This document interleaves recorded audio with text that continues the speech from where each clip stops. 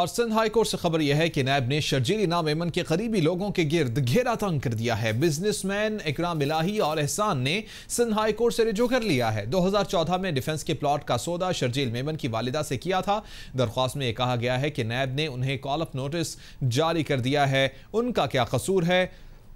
درخواست گزار کے وکیل کی جانب سے کہا گیا نئے پروسیکیورر نے کہا کہ گواہ کے طور پر طلب کیا گیا ہے یہ ملزم نہیں ہے تاجر یہ باریکیاں کیا جانے یہ تو ڈر کے بارے ضمانت کے لیے عدالت آ گئے وکیل کی جانب سے کہا گیا